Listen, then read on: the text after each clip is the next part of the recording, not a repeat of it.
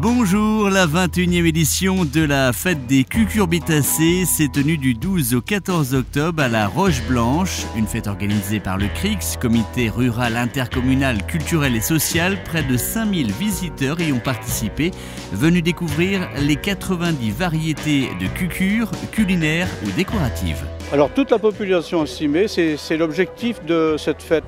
Donc il faut qu'il y ait un engagement fort donc de l'association CRIX, mais il faut qu'il y ait un engagement également fort de la municipalité et des bénévoles euh, de la commune euh, accueillante, ainsi que les artisans et tout ça, les commerçants, les écoles et tout ça, parce qu'ils présentent euh, leur activité, comme les écoles, les, bon, associations, club photo, etc., présentent, présentent leur activité c'est dans le bâtiment là. Hein. Donc ça vient, ça vient en appui de, de l'expo-vente de cucurbitacées. Il y a un travail énorme des habitants pour euh, décorer et ça avec une, il y une commission florissement qui, s'est mise en place euh, au niveau de la mairie, de la municipalité et il y a un, encouragement euh, près donc, des habitants pour faire bah, des décos. Hein. Là, il s'est mis, je crois qu'il y a 24 ou 25 mannequins qui sont dans les différents endroits. Et ben, c'est vrai qu'ils ont été très demandeurs au niveau de, produits pour décorer. On ne voit pas ça tous les ans. Ils ont été, euh, ils en voulaient toujours.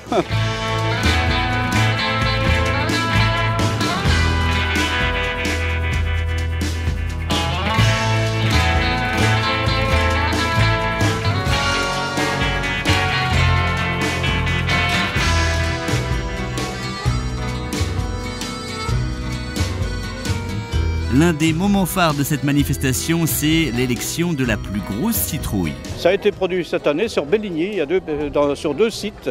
Alors, euh, ils ont leur secret. Ils ont leur secret. Oui, il y a un secret. Et donc, ça, ils ne vont pas le communiquer. Mais euh, c'est deux personnes euh, qui produisent ça chez eux, dans leur jardin. Et c'est élevé au petit lait, entre guillemets. ça a été mis en place au mois de mai. Euh, la graine, euh, enfin la graine au mois d'avril, et puis euh, bah, sur, oui, ça, ça levé au mois d'avril, germé, la germination au mois d'avril, et puis bah, la récolte là. Et ces citrouilles géantes partent ensuite dans des supermarchés, elles deviennent les stars du rayon potiron.